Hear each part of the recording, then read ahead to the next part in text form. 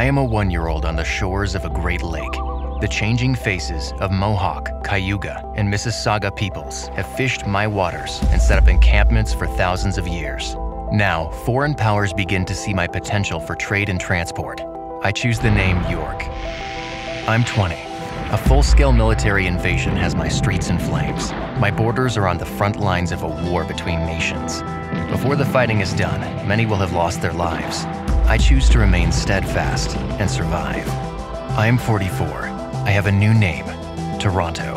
A rebellion erupts, and my streets are now a place of political upheaval.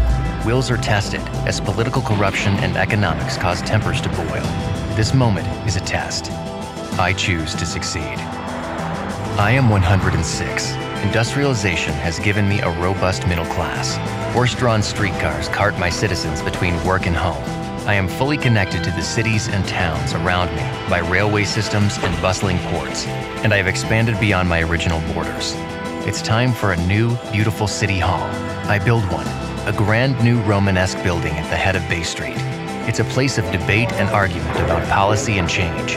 I choose to listen and act on the needs of my citizens. I am 183.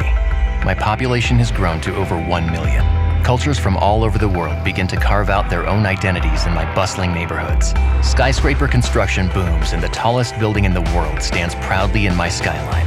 The world takes notice. I decide to continue to build and become a world class city. I'm 220. I'm the primary destination for new immigrants to Canada. My people have made me the multicultural epicenter of the country and a launching pad for artists, athletes, thinkers, and creators. I've accomplished a lot in my short history. With over 6 million faces and counting, I am a forward thinking and eclectic modern metropolis. People from all over the world come to visit and do business. I have become one of the most dynamic cities of the New World. I am a home and a destination. I am Toronto.